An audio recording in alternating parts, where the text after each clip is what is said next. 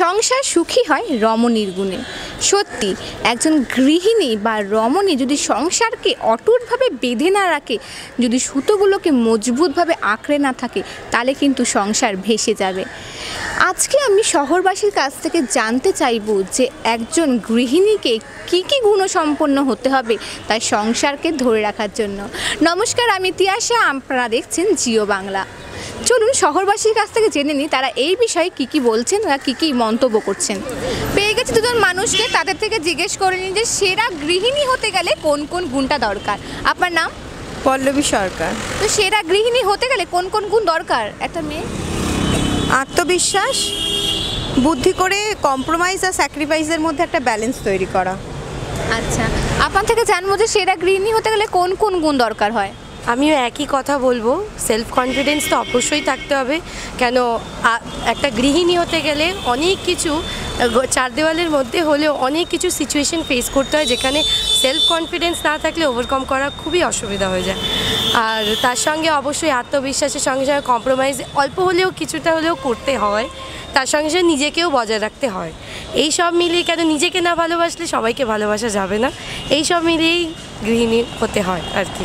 গৃহিণী মানেই হচ্ছে যে সুতোগুলোকে টাইট করে বেঁধে রাখা। তো এরম কোনো আপনার জীবনের কোনো মোমেন্ট আপনি শক্ত করে বেঁধে রেখেছেন? এখন আলগা হয়নি? সেটা তো প্রত্যেকেই করে থাকেন। আমার লাইফে বলে না ওনার লাইফে আপনার লাইফে সবার লাইফেই হয়ে থাকে। কেন? যখন আমরা একটা নতুন জায়গায় যাই এক্সপেক্টেড থাকে যে তারা আমাদের বুঝবে না, আমাদেরকে তাদের বুঝতে হয়। সেক্ষেত্রে যখনই একটা মেয়ে বোঝার চেষ্টাটা করে, সেখানেই সে সুতোটা ধরে নেয়। এবং সেখানেই সে শুরু করে যখনই সে নিজের হাজব্যান্ডকে বোঝে যখনই সে বোঝে যে প্রত্যেকটা জিনিস কীভাবে হ্যান্ডেল করতে হবে তার কোন কোন পদক্ষেপে কি রেজাল্ট হতে পারে তো এইভাবেই আমার মনে হয় সুতোটা ধরা হয়ে যায়। কেন পরোক্ষভাবে হোক আর প্রত্যক্ষভাবে হোক আমরা কোনো না কোনোভাবে সুতো তো ধরেই থাকি। তা না হলে একসঙ্গে থাকা কখনোই সম্ভব হয় না। ওয়েলকাম পেয়ে গেছি আরও কিছু মানুষজনকে। চলুন তাদের থেকেও জিজ্ঞেস করে নিই কত বছর হলো বিবাহিত লাইফ এই চব্বিশ বছর। আচ্ছা তো কি মনে করেন সেরা সেরা গৃহিণী হতে গেলে কোন কোন গুণ থাকা দরকার একটা মেয়ের? দেখতে হবে বলো প্রথমে দেখতে হবে যে তাদের যেখানে আমরা বিয়ে হয়ে যাব সেখানে তাদের ফ্যামিলিটা প্রথমে দেখতে হবে যে কেমন ফ্যামিলি সেটা আমাদের দেখতে হবে আমা ওরাও আমাদেরকে দেখবে আমাকে বা আমার ফ্যামিলিকে দেখবে যে কেমন। তারপরে এবারে তাদের পরিবারকে মানাতে গেলে যা যা মেয়েদের গুণ থাকা দরকার তাদেরকে ভালোবাসতে হবে শ্বশুর শাশুড়িদের দেখতে হবে আরও পাঁচজন যারা থাকবে তাদেরকে দেখতে হবে। তাদের নিয়েই তো সংসার তাদের ভালোবাসা থাকলেই তবে এই জিনিসটা হবে। একার দ্বারাই তো হয় না সবাইকেই ভালোবাসতে হবে। তুই বল কিছু। আপনি কিছু? তো হাজব্যান্ড কী চাইছে মানে তার মানে সেটাকে আমাদের খেয়াল রাখতে হবে।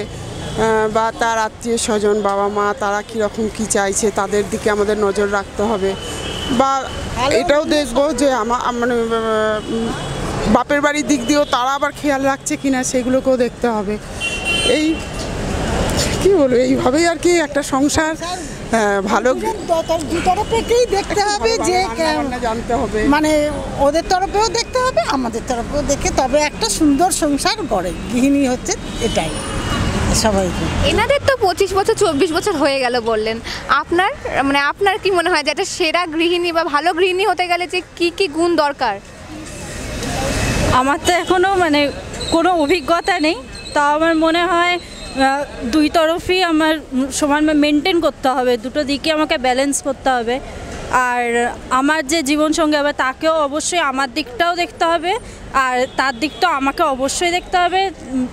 তাকে সব দিকটাই মেনটেন করতে হবে বলে মনে করি। ধন্যবাদ তো শুনেই তো নিলেন শহরবাসীর কাছ থেকে যে একজন ভালো গৃহিণী হতে গেলে কি কি গুণ সম্পন্ন হতে হবে। অবশ্যই আপনারাও জানান আমাদেরকে যে আপনারা কি বলছেন, যে আপনারা কি মনে করছেন একজন গৃহিণীকে কীভাবে সংসারটাকে সাজাতে হবে, কীভাবে তারা তার সংসারটাকে ধরে রাখবে? অবশ্যই ভিডিওটি ভালো লেগে থাকলে লাইক শেয়ার কমেন্ট এবং সাবস্ক্রাইব করতে কিন্তু ভুলবেন না। ক্যামেরায় সৌম্যর সঙ্গে আমি তিয়াশা, দেখতে থাকুন জিও বাংলা।